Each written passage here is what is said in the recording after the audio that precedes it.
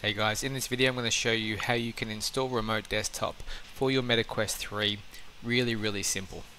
Now you are going to need to go to oculus.com slash desktop to get to this page here. Then we're going to simply click on download. We're going to download that file. Now this is unauthorized but we're going to accept that. Now on the top right hand corner once it's downloaded we're going to click on that and it's going to install. Then click next then click yes and approve all of these. And we're going to log into our account. So uh, my Facebook is my account for Meta. So I'm going to log into that and approve that. Now it's going to be asking that we go into our headset. So once in your headset you're going to go to the apps in the bottom right. Then you're going to locate remote desktop.